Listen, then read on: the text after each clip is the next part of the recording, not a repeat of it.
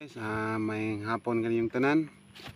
Ah, magpasalamat ray ko sa mga tao nga nihatag silang ayuda o cash assistance. Una ni ah, Chanel Lumapay sa iyang 500 o sa UCCP Taloto sa ilahang ah, 320 o uban sa mga used clothing o sa UCCP Kawayan.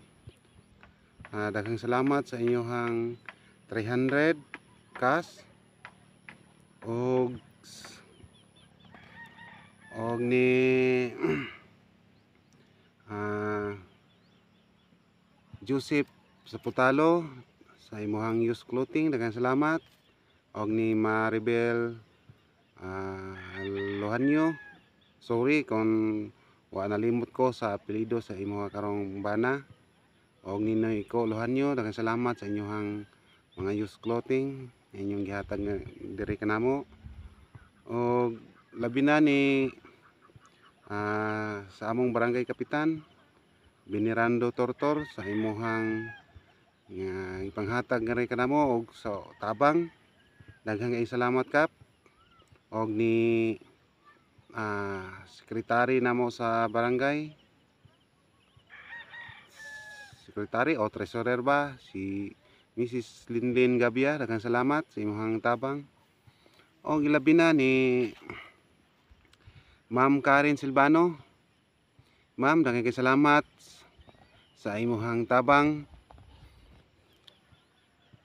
Tungod nimo daghang nisalig og daghang ni, nipaabot sa ilahang mga blessings diri kanamo dili gyud na ako malimtan ang imong tabang ma'am sa imo sa imong ang imong tabang diri kanamo daghang kay salamat ma'am.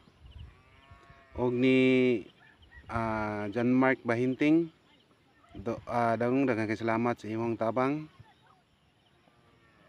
Og dili rin ako taso na akong video guys. Uh, higo ra akong nagpasalamat sa mga tao ning hatag sa ilahang grasya nga rin kanamo ug dili na to guys dili na to kalimtan ang pag ah, suportaha suporta ang at ni ang page ni John Mark Bahinting.